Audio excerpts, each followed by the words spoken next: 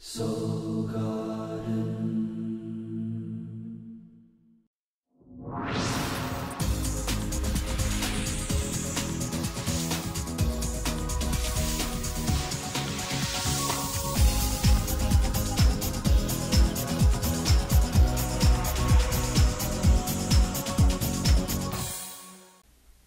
Hello, producers, and welcome back to Soul Horoscopes Weekly Edition. I'm your host to the universe, Christopher Witecki.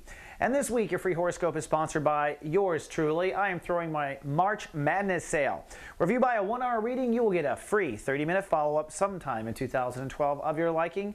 Come on down, my, my supply goes quick, or you have to wait longer if you wait to buy it. But it is something I do. We lower the prices and we get a whole bunch of new clients. Perfect for a new reading uh, for yourself. Go ahead, it'll be fun. And come on down to soulgarden.me. It is your Facebook away from Facebook. We have a community of light and light workers. We call newcomers sprouts, and we're going to help you grow and stand in your power and manifest what you want. We also have office hours, and we have a great love lounge, which is featuring Pisces singers this week. If you want to do that, a lot of cool stuff that you won't get anywhere else. There's no place like Soul Garden. Come down and join our bowls, and we're always looking for more volunteers. If you want to join helping us write or helping us manage, we are always looking for extra help. Now, the Bulls this month are working on their public persona. And I do want to do a little disclaimer. For those of you I watch over in the Guardian Agency, I've been sending out psychic with texts, and there's been a lot of them. And uh, I just want to say they're going to lead to something. So just keep answering them as they come. They're designed to ask questions that you otherwise might dodge. And I'm asking you when you don't expect it, so you get an honest answer. So this is interesting experiment. Keep doing it. Now, this week, we're going to wrap up the transit on where you belong in the world, kind of positioning yourself uh, as to your context consciousness, how you see yourself in the world. And this turns into your branding, and this turns into your public persona, and your Facebook circles, and your you know Google circles, and all those sorts of things. It is how you see yourself in the context of the we. It is where you feel you belong okay? And it's an upgrade and it's where it's an escalator to heaven basically because with Neptune and Pisces, Tauruses are going to be escalating to more and more spiritually high vibrations every year uh, for at least a decade. So you're beginning that escalation right now. As we start off on Monday, there might be a little breakdown, some sort of snafu breakdown where your image falls apart or something you want to do falls apart. I know what mine was. The horoscopes weren't live. That's because of Mercury retrograde also simultaneously hitting my mouth, literally. First time Mercury shut me literally down in the mouth, uh, which is kind of cool because I got the technology part down pesky Mercury. But uh, it does mean that we reverse gears intellectually. We see things inside out. Communication does break down. And it's the inside voice and the outside voice trading. So you begin to see what you have not been looking at in your mind. You start to see the scripts you may not always pay, pay attention to. Things blurt out of your mouth. People call you on it. Uh, technology breaks down. You're forced to listen. You can't connect when you want to. That's all part of the retrograde. Uh, for Tauruses, it does mean that you'll be reconsidering why you have faith in yourself. And you'll be coming to breakthroughs in inner faith, which, depending on the Taurus, may mean you manifest some sort of challenge that proves it to you. Some Tauruses do that. We'll talk about that. And that's a good likelihood. But on Monday, there is some sort of breakdown. The moon is in Scorpio on Monday, so your emotions are very much about your relationships, maintaining faith with relationships, and of course your mirage, how you relate to yourself. On Tuesday, it's breakthrough time. Hopefully, we get it, the message gets out, communication is working, Christopher's horoscopes are finally live, right? It's all starting to move forward. We're starting to get it. The moon does move into Sagittarius, so suddenly emotions shift to very trust uh, trust boundary based issues. So you might become vulnerable on Tuesday, or you might want to hide or kind of go back or guard yourself. That's all normal. Remember, the whole topic is where do I belong in the world? How do I position myself? Where exactly should I stand, so to speak?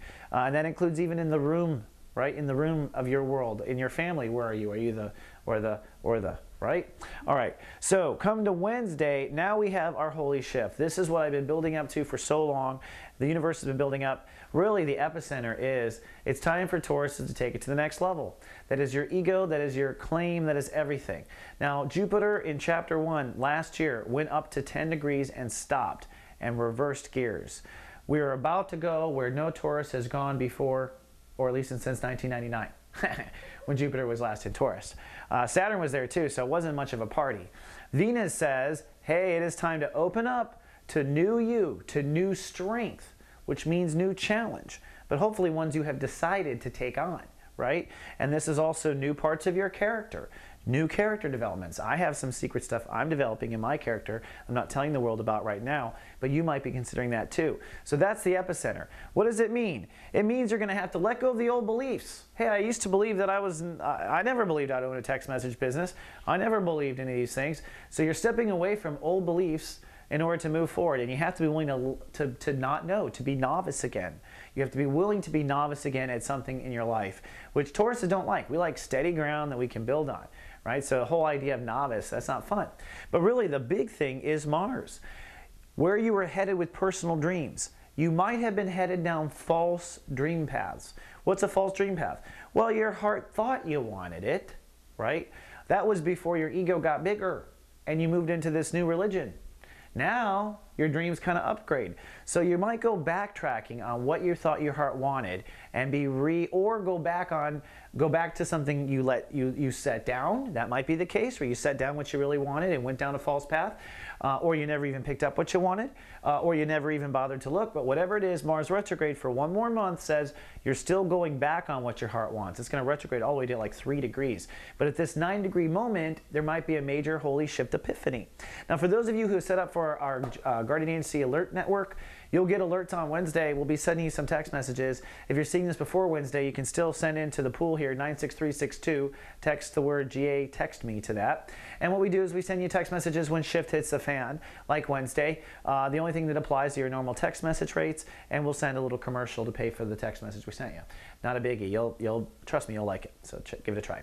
On Thursday, Thursday, what happens Thursday? Ah, Neptune Day. We log into our higher self. God kind of comes pouring into the earth. It's a time to kind of check intuitively Am I on the right path? Is this really for me? Is this new place in the world where I belong? Does it feel right? Do you sense it right? So you're checking with your psychic state of awareness on that day. The Grand Trine has already moved on. The moon now moves into Capricorn, and on Thursday, you've got to let go of your emotional attachments to the old beliefs to the old you, to the old philosophy. So you might have a literal catch yourself in the act of holding on to something that really isn't important in the new you. So letting go of things that aren't important in the new you and catching yourself in that act. It's an old habit, and Tauruses are very habitual, right, as creatures. Now, moving on to Friday. Friday is commitment day. At this point, you're committing to this I belong in the universe, this place, at least for now. Emotions are still theoretical, self reflective, you're a little spacey, that's okay. You're kind of learning is what's happening, you're upgrading. Notice Uranus has hit 4 degrees on this day. The last time Uranus was 4 degrees, the stock market crashed and a world depression ensued. Depression ensued. So uh, it hasn't been to this degree since then. So we're all going to be just kind of wondering. What it means for you is a stock market crash of inner faith. You will have an inner faith stock market crash. So something you once had faith in will crash. It might be a very good thing. It might be part of that Pluto. It might be part of the new you. It might be all necessary bulldozing to build the new inner faith but it will come down, and those in denial will probably feel it the hardest, unfortunately. Now, if you need some uh, company on Friday, don't forget about SG Live.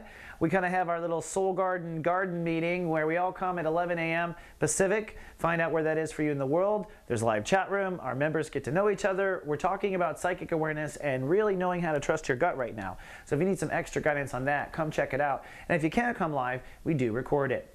Then on Saturday, we're going to act. A lot of anxiety energy on Saturday, a lot of fear start to pop up on Saturday. People are starting to realize the consequences of these decisions and shifts is what's happening. And at the same time, uh, Mars is ruling the day. So it's time to now act to, to start walking towards that new where you belong, to put it into action, to sign the soul contracts, to say goodbye to those you have to say goodbye to. It is that kind of day. This red line is fear fear of stepping out of your comfort zone of what you know into the unknown. You're afraid, you're stepping in the unknown, right? And at the same time, how do you play that off in the moment? How do you still stay in your power even though you're doing something completely new? This is all leading to a big spiritual transit where the sun is going to conjunct this nice uh, Uranus, uh, Uranus Mercury conjunction next week. So there is not a holy shift uh, holy moly. I don't know. I'll have to brand it somehow. But that's happening. Also, notice on Saturday, this is the moment where Mercury reaches the stock market crash degree. So, whatever that crash is or might be, might happen.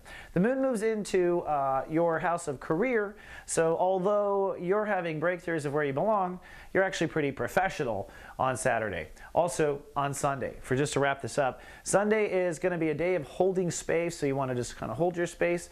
You might be very career active on Sunday. I'll be teaching boot camp, so I know I will be. It'll be fun to have the students there. Uh, but it's really a day of just kind of holding this new public persona, all the while under the seams, your faith in yourself collapsing. I mean that in a good way. I'm with you. Don't worry, Taurus. All right, well, that's all I have for now. Now, don't forget, we've got the uh, 60 plus 30 for free on sale right now at Soulmart.